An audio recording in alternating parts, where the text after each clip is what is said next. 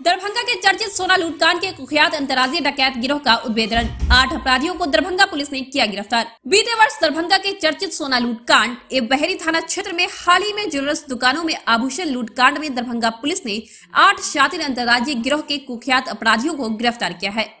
दरभंगा के बहेरी थाना क्षेत्र में शंकर लोहार चौक पर से ज्वेलर्स में हथियारबंद करीब आधा दर्जन अपराधियों के द्वारा दिन दहाड़े आभूषण लूट की घटना को अंजाम दिया गया था। जहाँ बहेरी थाना कांड संख्या चार बटे बाईस दर्ज किया गया था।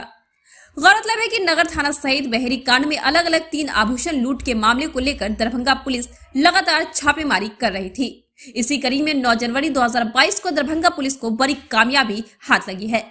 गिरोह के आठ अपराधियों को पुलिस ने गिरफ़्तार कर मामले का उद्भेदन किया है, जहाँ भारी संख्या में आर्म्स के जखीरा के साथ कारतूस भी बरामद किया गया। साथ ही लूटे गए आभूषण को भी पुलिस ने बरामद किया है।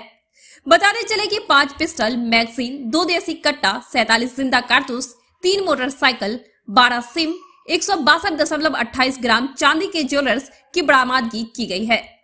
मामले को लेकर दरभंगा पुलिस में बहादुरपुर थाना में सिटी एस एसपीएफ सहित अन्य अधिकारियों ने प्रेस की ब्रीफ कर जानकारी दी। इस न्यूज़ के प्रस्तुत करता है city centre the complete multi brand men's wear showroom Subhash Chowk Darbhanga. ली एक सक्लूसिव शोरूम सुभाष चौक। और दैनिक कौमी तंजीम न्यूज़पेपर दरभंगा।